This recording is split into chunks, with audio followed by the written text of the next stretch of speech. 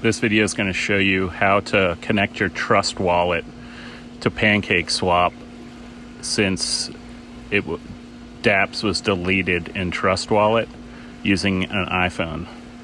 So let's begin. What you're going to do is you're going to go ahead and open up a browser. I use Google Chrome and search for Pancake Swap.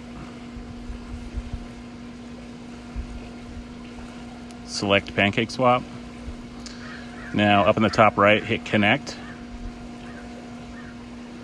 Now, go down to Wallet Connect, select that. And then in the middle there, hit Trust. That's Trust Wallet. It'll open Trust Wallet. And then hit Connect. Now, go back to your browser.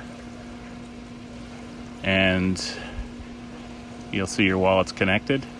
Now, in order to trade Sheesh, go to Trade, Exchange, then you're gonna have you're gonna see sheesh isn't available. You're gonna have to add it. So this was right here. We'll paste the sheesh address, which will go back to our browser, and we will search sheesh token, and we'll get the address this way for sheesh token. So once on their webpage, scroll down. And now you can find the token's address right there under step five. Copy it and go back to Pancake Swap in the browser and paste it.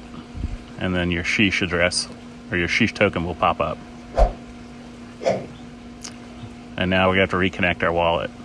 So just connect top right corner, wallet connect, and there you have it. All right, easy peasy.